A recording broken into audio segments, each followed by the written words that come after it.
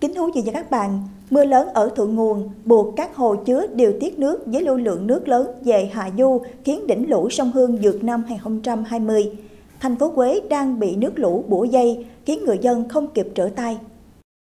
Mưa lớn cùng nước từ thượng nguồn đổ về từ đêm qua đến sáng nay khiến nước lũ lên nhanh, nhiều nơi xuất hiện ngập lụt diện rộng.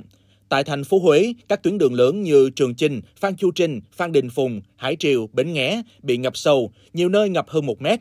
Nước lên rất nhanh, người dân phải khẩn trương dọn dẹp, kê cao đồ đạc, chạy lũ xuyên đêm.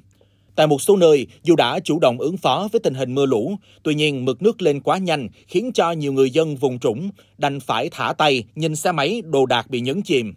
Theo văn phòng Ban Chỉ huy Phòng chống thiên tai và tìm kiếm cứu nạn tỉnh Thừa Thiên Huế, lúc 7 giờ 30 phút sáng nay, mực nước trên sông Hương đạt 4,19 m trên báo động 3, vượt đỉnh lũ năm 2020. Tại sông Bồ, dưới báo động 3, 0,39 m.